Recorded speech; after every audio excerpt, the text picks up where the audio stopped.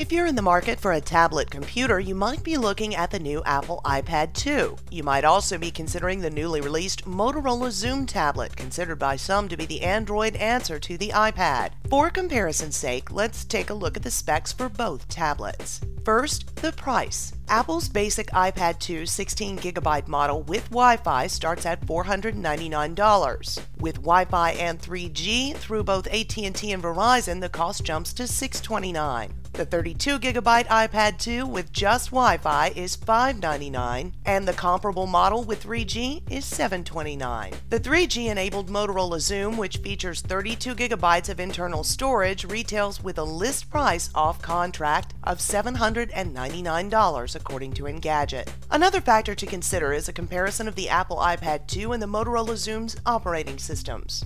The iPad 2 comes running Apple's iOS 4, just like the original iPad, iPhone, and iPod Touch.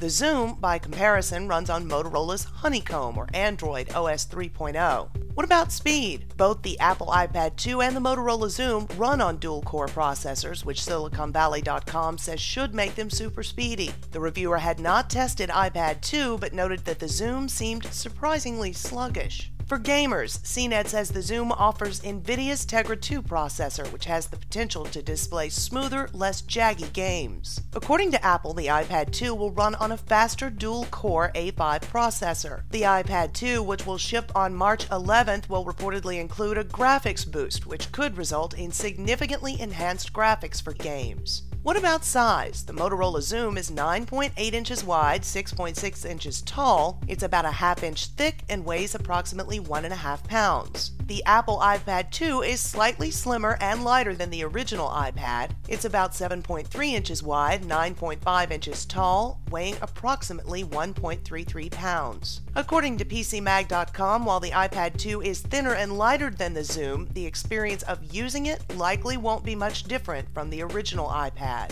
Battery life is yet another factor to consider when comparing the iPad 2 and the Motorola Xoom. Engadget tested the Xoom and found with a video on loop with the screen set at 65% brightness, they got nearly 8.5 hours of playback before the battery ran out. Consumer Reports tested the Motorola Xoom and found it has a battery life of at least 10 hours while playing a standard definition video.